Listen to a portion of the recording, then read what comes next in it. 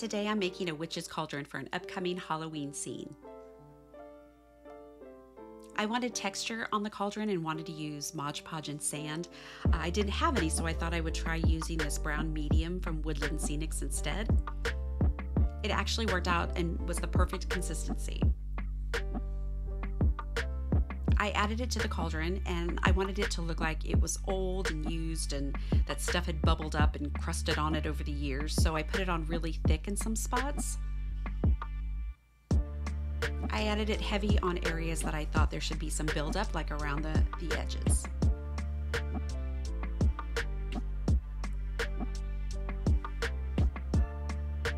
It dried perfectly clear, and it was easy to scrape off the spots that I didn't like. I went ahead and painted over the whole thing with black, except the top.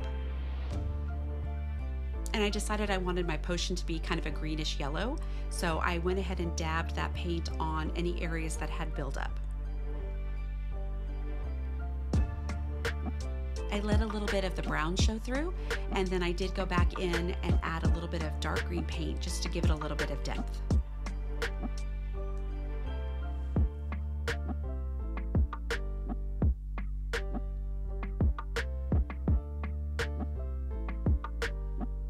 I wanted the cauldron to look rusty, so I added some brownish red paint and just kind of dabbed it in spots.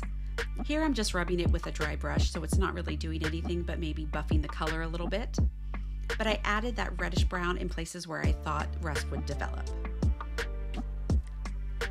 Then I added some polyfill.